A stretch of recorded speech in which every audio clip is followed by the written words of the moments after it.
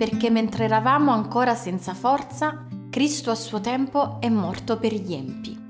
Il suono dell'esplosione fu terrificante. Poi arrivarono le urla, l'orrore e il sangue. Il sergente Salzman si guardò intorno. Il pericolo era passato, ma l'esplosione aveva lasciato quattro soldati morti. Lui era vivo, ma con sua grande disperazione notò che il suo braccio destro era sparito e il sangue sgorgava come un torrente. Settimane dopo, davanti allo specchio a muro dell'ospedale militare, cominciò a capire la sua condizione. Avrebbe dovuto imparare a vestirsi da solo, lavarsi i denti e la faccia con la protesi del braccio che gli era stata appena applicata.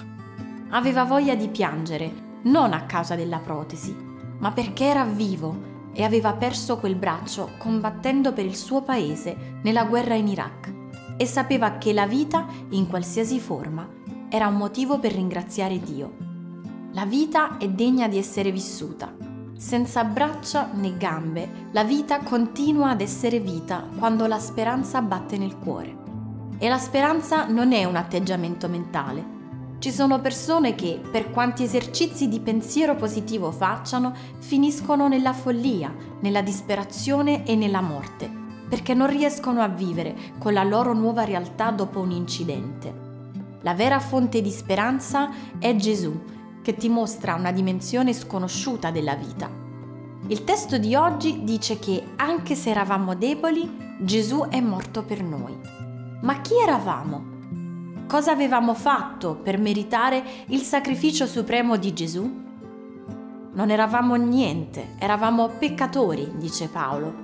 Avevamo scelto le nostre strade ma Dio ci ha amato al punto di dare la vita preziosa di suo figlio per salvarci.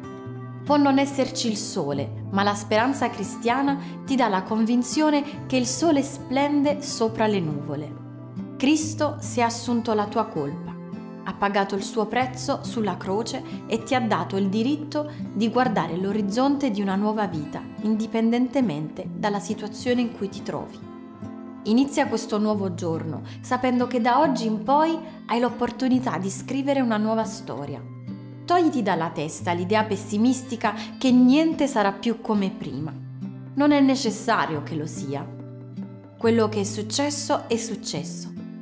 Osa scrivere una nuova storia, ricordando sempre che mentre eravamo ancora senza forza, Cristo a suo tempo è morto per gli empi.